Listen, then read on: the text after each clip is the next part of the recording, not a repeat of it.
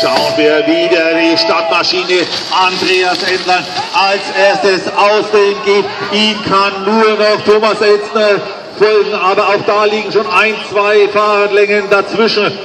Andreas Endlein auf Position Nummer 1.